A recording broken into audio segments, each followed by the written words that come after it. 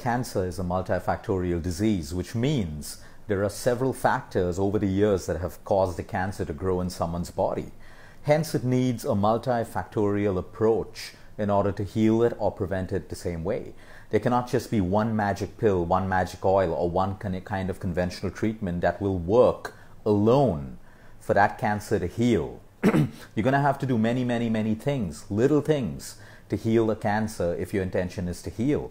Of course, when it comes to cancers, we need to change our mindset because what's happening today is cancer comes with that whole death sentence kind of you know mindset. We have that mindset that oh this disease is going to kill me. This disease is going to consume is going to consume me. What we need to understand that for the longest time for the longest time mindsets have controlled human beings I'm not over here to tell you that you should give up your conventional treatment, give up your chemo, give up your radiation, only take nutrition, only make lifestyle changes. None of that. I'm here to say imagine, imagine that if you made your conventional treatment work with nature. When I say that, I mean if you change the way you eat, sleep, think, and move, there is a possibility that you are going to get better. Because when we look at the statistics today of only conventional treatments, I'm not saying conventional treatment's bad. I'm not saying it's wrong for you. Conventional treatment have kept many, many people in remission and put them in remission and given them their lives back. What I'm talking about is the fact that we all ignore. Today, we take all of these medications, we do all of these things expecting it to fix us. And it fixes us for a while, but because we never get to the root cause of why, why in the first place has my body allowed a cancer to grow? When we start addressing the root cause and then we take the conventional treatment or we do nutrition or we make lifestyle changes, we do yoga, pranayama, all of that stuff, it makes more sense when you're possibly aware of the root cause of the cancer in your body. Well, today we're going to talk about nutrition and the importance of nutrition when it comes to the healing of your cancer, irrespective of what treatment you're doing. In fact, people who go through chemo and radiation and all the conventional treatments, the efficacy of the treatment can actually increase when the patient starts making changes in their nutrition. We're going to understand exactly how that happens. Number one, we need to believe in energy. Everything on this planet is energy. You are energy. Your cells are energy. You hold up a pen, there's energy in the pen. You can generate energy between your hands by just rubbing your palms against each other. That is energy. There's energy everywhere in the food that we eat, in the drugs that we take. It is energy every one of those trillion cells in the human body require energy to either heal you or to even destroy you. You can have the right energy or you can have the wrong energy. Now, how do you get the right energy to trillions of cells in the human body to support the disease that you're going through? it either comes in from the food that you're eating, the quality of the food, the quantity of the food, the state of mind that you're in when you eat your food. Because we all know that the, you could eat, you could be eating the best quality food, but if you're stressed out, if you're angry, if you know if your mind is constantly in turmoil while you're eating the food, the energy of the food breakdown happens and your body completely changes. Your absorption becomes less, your digest- di- digestion gets less, your assimilation gets less. So there are several little things that you can do to improve this energy in your cells. Every cell, every cell requires the right energy to boost your immunity. Every cell requires the right energy to fight, to fight the bad cells to clean your body out of toxins. Your liver, your heart, your kidney, your brain all requires energy. And when we're constantly putting poison into our body, be it chemo, be it radiation, be it surgery, without making any other change on the side, what we're doing is we're creating the wrong energy in the human body.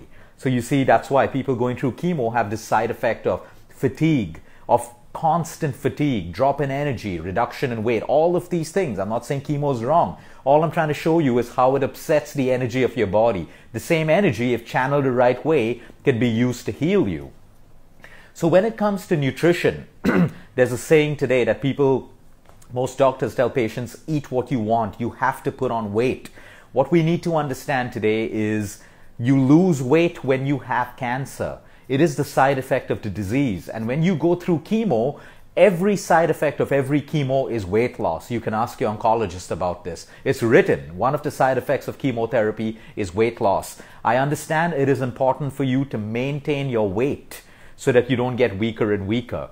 But when you're told to eat everything to put on that weight, that is your death sentence. That is the beginning of your disease spreading because you're either feeding your cancer or you're starving your cancer. Let's go back to nature again. We can go back to school where we all did the experiment of a candle. You take a candle which and the flame is lit and you put a glass over the candle. So basically you starve the fire of oxygen and the fire dies.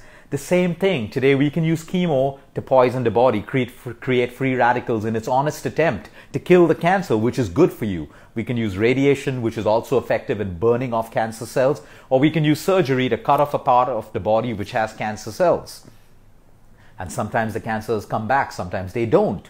But what if what if we can starve the cancer cells? There is an energy that is allowing the cancer cells to grow. What if we could starve the cancer cells from that energy? Then we have the fourth way of also making this cancer better in our system by starving it. And that's where nutrition comes in. We are either feeding disease or we are starving disease with the choices of nutrition that we put in our body, be it cancer or be it any disease. So if we can make sure that your cells are getting the right nutrition and we're depriving your cancer cells of the energy that is allowing it to grow, again, we have the chance of success. This is not about saying nutrition is better than chemo, chemo is worse than nutrition, chemo is better than nutrition. We're talking integrative. What is the best for your body, for your disease? It is not about what is right or what is wrong. It is about what is effective and what is best for your body and your disease. So continue with the conventional treatment that you may be on, but how can we use nature and lifestyle to basically starve the body and boost immunity? The only thing, the only thing in the human body that can prevent and heal is your immunity. So we all understand when it comes down to nutrition, we're feeding those cells. How can I generate energy in trillions of your cells to heal you and protect you? How can you do it? How can you generate that energy? That energy comes from food, from vitamins, from nutrients, from movement. A little bit of exercise gets your blood circulating. You generate something called piezoelectricity, electricity in your cells. Yes, you have electricity in your cells. That is energy that can boost ATP, adenosine triphosphate, which is energy that allows your cells to increase their fighting ability against any pathogen, virus, or cancer. That is your immunity. You have your leukocytes, your neutrophils, your lymphocytes. All of these cells require energy to fight, constant energy to fight. So as you can see, when you're going through your chemo, these levels fall. The body is fatigued. These levels keep falling all the time and you need to give your body the right energy so that your lymphocytes and all these white blood cells can recruit that energy to fight. That's how it is. You need to get division in your human body. Are you giving it the right energy to fight. So this is not about popping supplements. We all know that during chemo and radiation, you do not want to do supplements which are rich in antioxidants because antioxidants will actually reduce the efficacy of your chemo and radiation. There's a time to do it. There's a time to add the right quality supplements, the right quality food into your diet. So when it comes to food, we're not getting into the debate about does cancer, you know, do cancer cells feed on sugar? We're not going through any of that. All I'm asking you to do is use common sense. We all know the dangers of white sugar in the human body when it comes to immunity, when it comes to allowing mucus to breed, when it comes to allowing bacteria and pathogens to thrive. What we're trying to do is change the environment of the human body. It's like a fishbowl. You have a fishbowl, and if your fish keep dying in that fishbowl or falling sick, we keep taking out the dead fish and putting new fish in. The solution is cleaning the water in the fish bowl. The same analogy to the human body. We can keep poisoning, cutting, burning, pushing artificial hormones in the human body, but if we don't change the terrain, the soil of the human body that is allowing the disease to breed and thrive, this process is going to be endless. And usually you know it ends in death or it, it ends in organ failure you know or some more problems caused by the side effects of the heavy drugs that we take we can take that but we got to change the terrain and soil of the human body and you can do that by detoxifying with normal simple foods feeding the cells the right amount of food, making sure that you have the right amount of movement to increase the bl- amount of blood circulation because blood carries nutrients from the food that you eat and oxygen from the air that we breathe to trillions of cells. That oxygen that you breathe is energy again.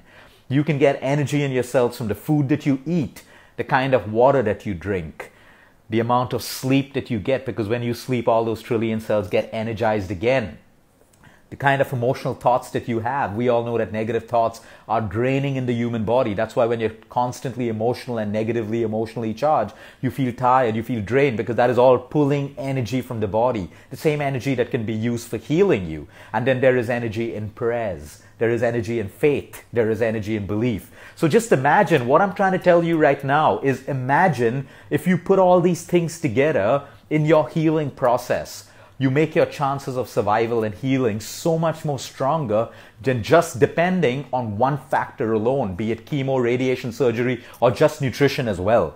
It's got to be integrative. The human body is built up of so much, and we need to slowly give the body everything it needs so that it can heal you.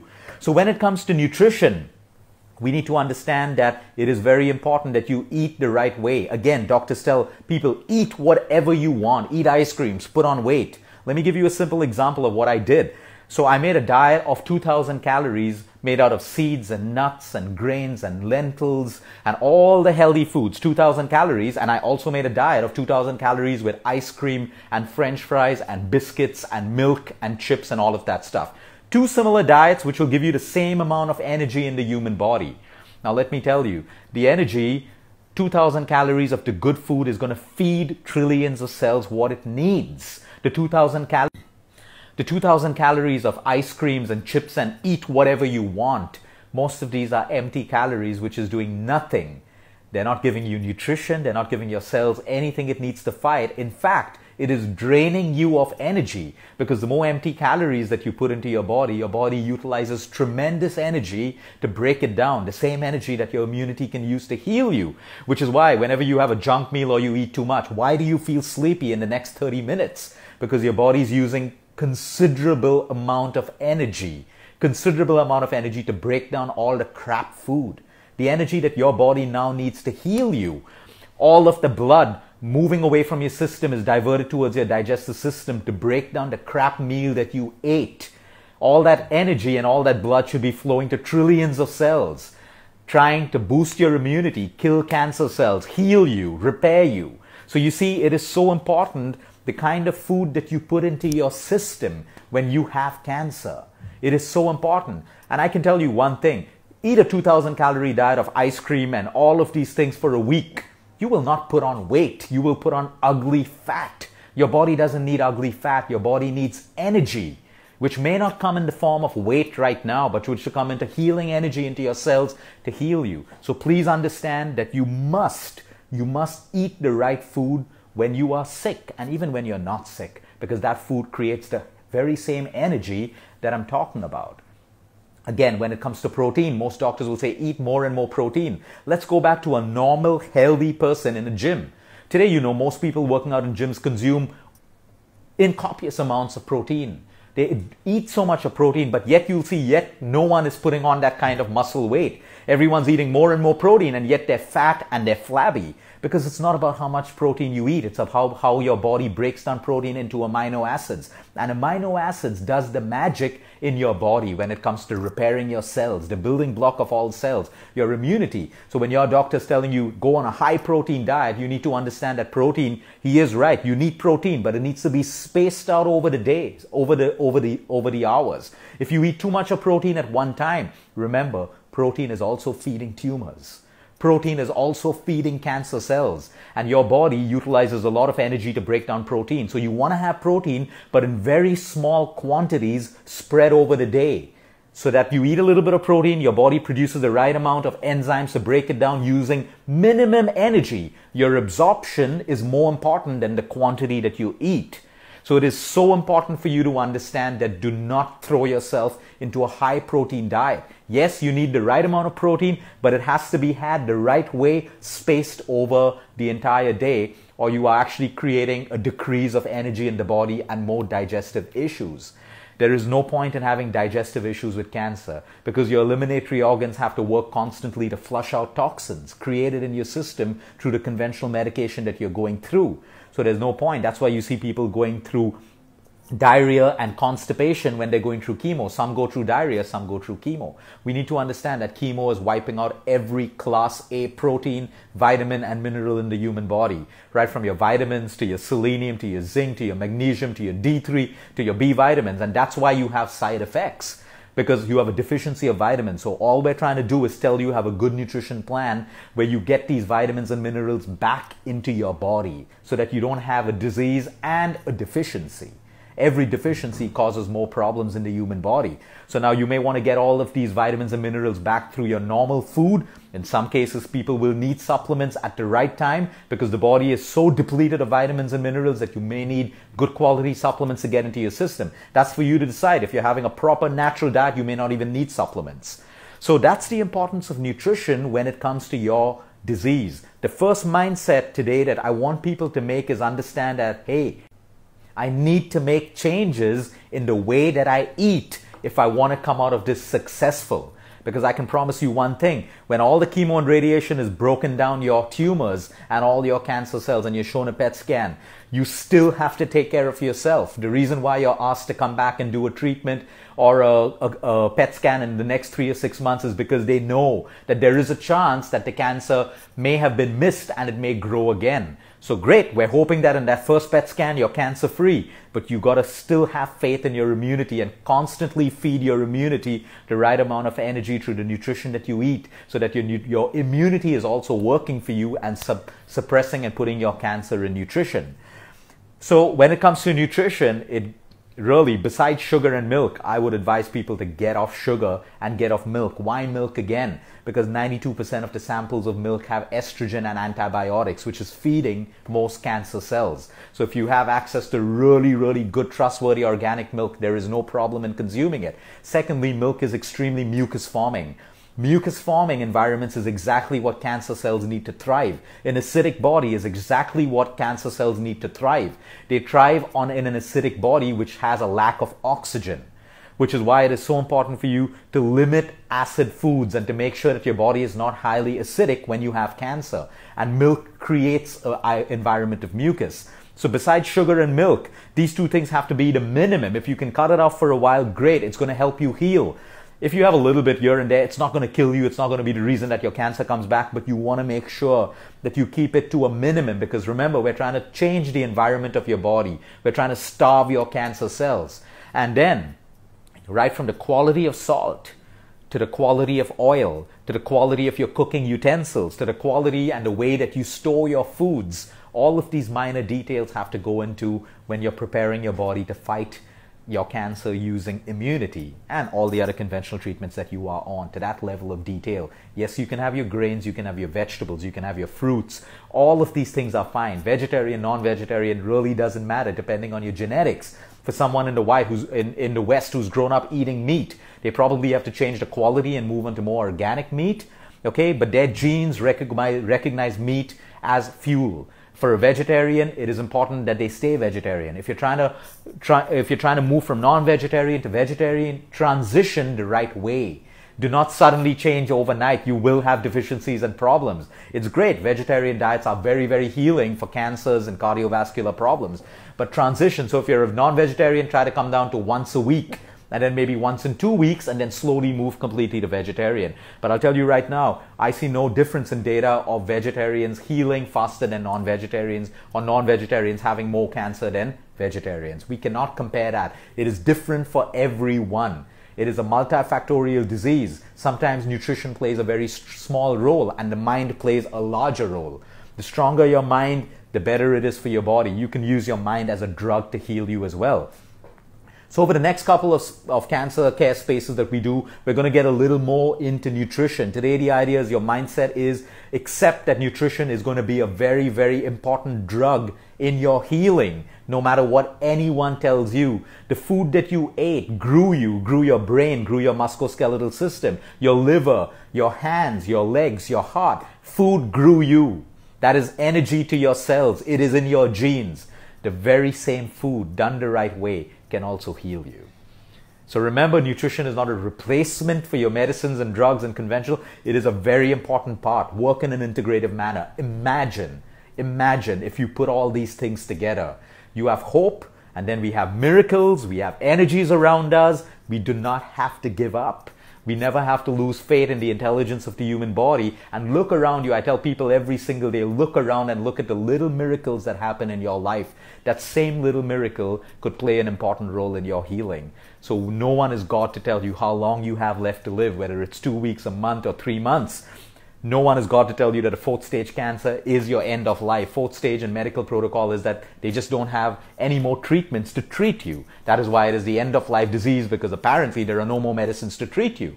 But we have your body, we have the intelligence of your system, we have food, we have movement, we have plants, we have energy in the mind, we have prayer, we have belief, we have faith, we have so many more magical drugs. Imagine if we can start utilizing them together. Imagine if what we could create. And that's what we got to be aiming for. Because for the longest time, we believe in quick fixes and one method of treatment. And the statistics are showing us today that that is not the right way anymore. The right way is take that and take everything else on the side. That's up to you. Make that mindset change. And we're going to discuss little things that you do have to do every single day. I can promise you one thing, one thing I work in the field of medicine alternative across Japan, Mexico, everywhere. I've been exposed to all the kind of alternative treatments that exist. There is no magic drug. There is no magic pill, plant, oil, snake poison, whatever it is, that alone will cure your cancer. I can promise you that. And I'll say the same thing for conventional as well. There is no one method of treatment that will cure your cancer, which is why no one guarantees you. But imagine if we put the best of everything together that makes sense, that works with logic, that works with science, and that works with the miracle of nature and human life. We have a chance to heal, we have a chance to prevent. Have a great day, everyone. Until next time, eat smart, move more, sleep right, and breathe deep.